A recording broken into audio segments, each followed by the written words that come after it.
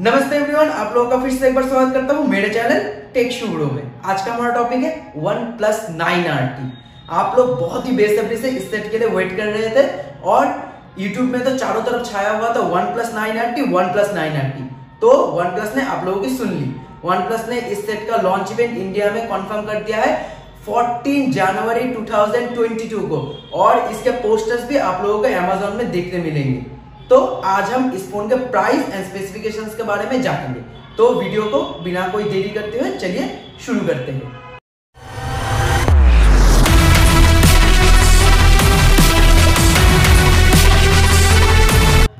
तो पहले हम इसके डिस्प्ले के बारे में जानेंगे।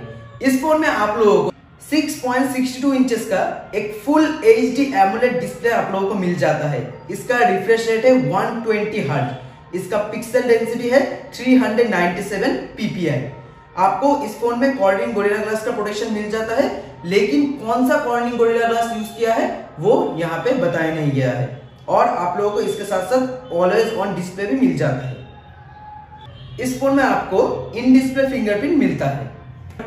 तो फ्रेंड्स अब आते हैं इस फ़ोन के कैमरा पे। इस फ़ोन के बैक साइड में आप लोगों को ट्रिपल कैमरा सेटअप मिल जाता है।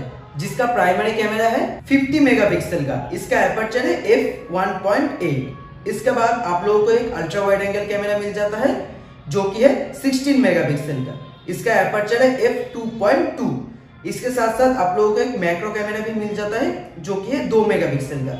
इसका एपर्चर है f 2.4 आपको बैक साइड में डुअल एलईडी फ्लैश भी मिल जाता है। ये कैमरा 4K 60 एफपीएस तक वीडियो को शूट करता है। अब आते हैं इस फ़ोन के फ्रंट कैमरा पे। इस फ़ोन में आप लोगों को 16 मेगापिक्सल का सेल्फी कैमरा मिल जाता है। इसका एपर्चर है f 2.4 ये कैमरा 180p 30 एफपीएस तक वीडियो को शूट करता है।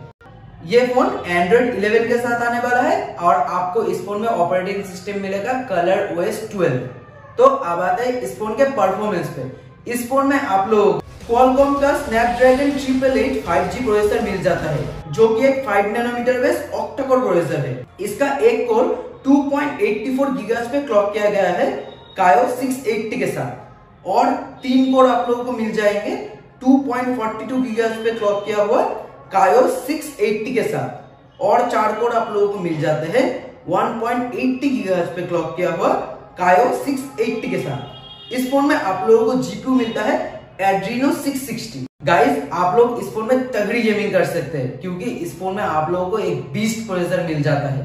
तो अब बढ़ते हैं अगले टॉपिक पे। इस फ़ोन में आप लोगों को स्टीरियो स्पीकर मिल जाता है। 3.5 पॉइंट जैक इस फ़ोन में नहीं मिलेगा। अब आते हैं इस फ़ोन के बैटरी पे। 4500 mAh की एक बड़ी सी बैटरी आप लोगों को मिल जाती है। ये फ़ोन 65 वाट तक फास्ट चार्जिंग को सपोर्ट करता है।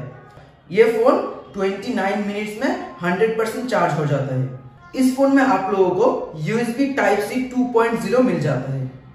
तो फ्रेंड्स अब आते हैं इस फ़ोन के रैम एंड स्टोरेज पे। ये फ़ोन आप लोगों को तीन वेरिएंट में मिल जाएगा, एक वेरिएंट आप लोगों को मिलेगा eight GB RAM one twenty eight GB storage के साथ। दूसरा वेरिएंट आप लोगों को मिल जाएगा eight GB RAM two fifty six GB storage के साथ। तीसरा वेरिएंट आप लोगों को मिल जाएगा twelve GB RAM two fifty six GB storage के साथ। इस फ़ोन में स्टोरेज टाइप है यूएफएस थ्री पॉइंट वन इस फ़ोन में आप लोगों को रैम टाइप मिलता है आर फाइव इस फ़ोन में आप एक्सपेंडेबल मेमोरी नहीं लगा सकते।